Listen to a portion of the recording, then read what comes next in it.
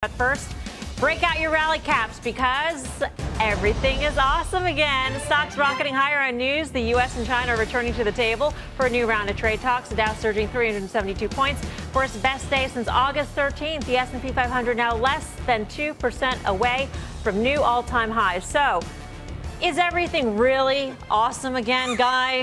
you know I'm a high.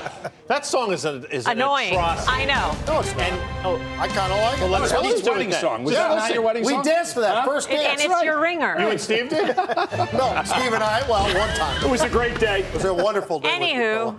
It's cuckoo for Cocoa Puffs. Remember uh, that whole thing? Right. No, okay. I don't think everything's awesome. I think what actually changed today, and I think Pete might have talked about it, is the fact that the Chinese tweeted this. It wasn't a President Trump tweet about, you know, me and my good friend President Xi are getting back to the table. So maybe that changes the tune a little bit, although I still think we're really far away from a deal. With that said, you know, we do this thing at the, at the uh, what's that, the plasma. Yes. Yeah. Called the power pitch. Called the fast. And I'm not pretending I'm bullish. I'm not. And I said it last week. I said, but sometimes you can trade things within the framework of a market. And last week, dull market into a holiday, the market should rally. You're seeing the banks rally. We power pitch Citibank. And I think you're seeing it manifest itself over these last couple days.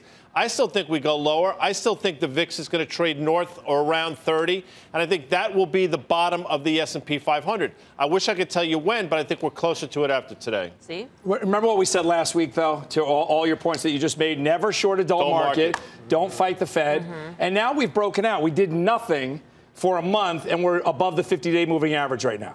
So I would say we are going to go higher. Who would short the market ahead of that meeting? Ahead of the Fed? No, no. Ahead of the ahead of the trade talks, because now no, to Guy's think, point, I think you're going to to Guy's point though, you heard it, from the Chinese now that know, they're looking at the meeting. It, it, it might happen. It's probably going to happen.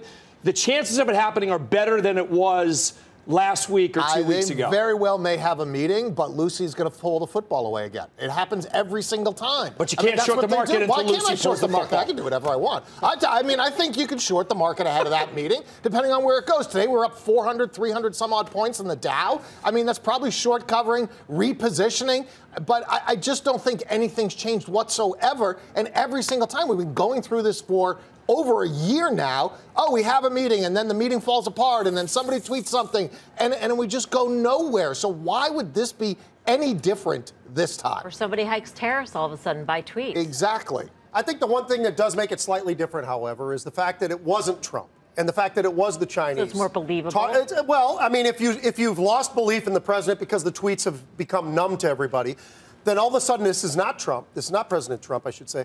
But it's the Chinese saying, hey, look, we want to sit down. We want to have a conversation. I, I think that a lot of this has to do with what's going on in the economy over in China as much as anything. I mean, we all talk about all the negatives about what's going on and some of the different numbers that are bad here at the United States, but mostly around the rest of the world. The numbers coming out of China are pretty awful. And uh-huh. I think that's getting worse and will continue to get worse. So the idea that volatility will remain volatile, I agree with what Guy was saying whenever we see these dips, Tuesday we had a pretty decent dip. I think those are opportunities for some of the buying. I think a move like we've had over the last couple of days, I don't disagree with you necessarily, but I still think you have to trade what, this market. What sure. has changed? What is, and I know you, you're you're not, you can't be in the mind of the Chinese negotiators. It yeah. is impossible. Right. But well, I mean, what do you think has has really changed from the Chinese perspective, aside from a couple of data points, which we probably knew were going to get worse anyway? I mean, what what's changed is is what? What what impetus, what impetus do they have for having these talks? People are moving out ahead, of China. Ahead, Apple, Google, ahead. people are going to start moving production lines well, out of China. But it's not happening right now. It's not happening. It's not happening is it, right is now. Is it going to happen? I don't will anyone, know. Well, uh, you really don't know. Uh, do you, You're a smart, really think, intelligent Do you woman. really think that Apple's going to have the capability to remove all of their manufacturing yes. not from all, China? Not all. They said 20 percent. So 20% is going to be moved out. Google's going to start moving it out. Any uh, any corporation right now is going to look at it or start to move production out of China. They don't so want. So all of a sudden, the Chinese are scared of that. Uh, not all of a sudden. It's actually happening.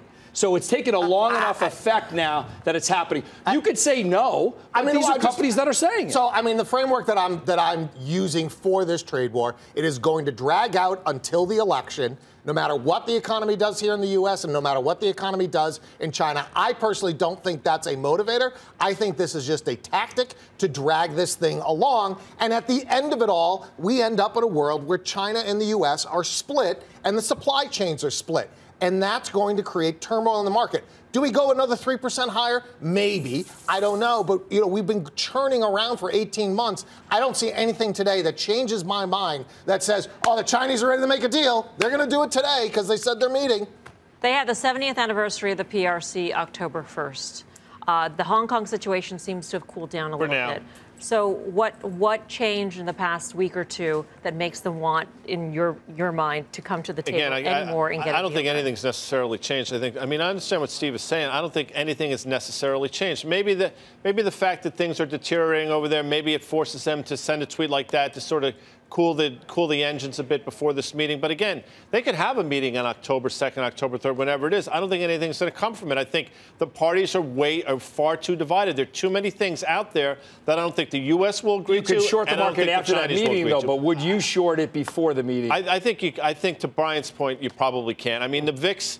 I think the VIX is headed higher. I'll say it again. I'm surprised it's here. I'd be the first one to tell you that. But in this environment, a VIX at 20 is too cheap, let alone a VIX at 16 and a half. Clearly, the jobs report on Friday is going to be a very big deal ahead of a Fed meeting. It's going to be a big deal, but I think we're we already know it's going to be 25 basis points. Before we weren't sure if it was going to be anything because there was that back and forth between Trump and Powell. And then we had Dudley come on the scene and we said, "All right, we're guaranteed 25 basis points and maybe 50 basis points." Now we know we're getting 25 basis points and we're going to get another 25 after. Unless the ECB does less, which takes the pressure off the Yeah, Fed. yeah. I mean, be the ultimate market surprise. There's a lot of cross currents, right? I mean, we saw a lot of different things. We saw now Brexit's off the table for the time being, Mm-hmm. at least until October, it seems, right? So that's the currency volatility is tamped down. We have um, Christine Lagarde coming into the ECB, so perhaps their policy is on hold for a little bit. So we are in this period of détente, but Oh. at any moment of time.